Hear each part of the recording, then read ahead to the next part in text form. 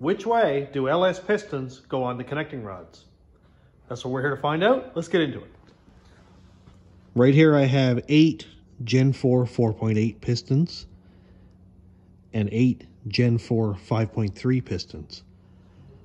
I call these Gen 4 because they are the later style with the uh, circlips, but it came out of like an 05 or 06.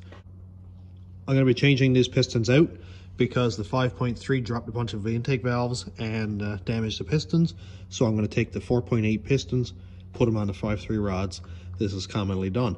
But which way do the pistons go on a rod? So this is my first time actually paying attention to this as I scrapped it.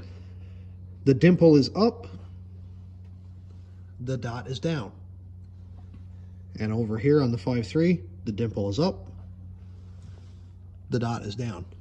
And I checked, and every one of these are the same thing. So all of these 4.8s, you can see the dimple is here. And all of these pistons, the dot is down for the ones that you can see because they're kind of disgusting looking. Over here we got 5.3. The dimple is up on all of them. And again, for what you can see, the dots are all down. This is just a guide for Gen 4 pistons. I didn't include the early Gen 3 pistons because they're press fit and usually nobody messes with them anyway.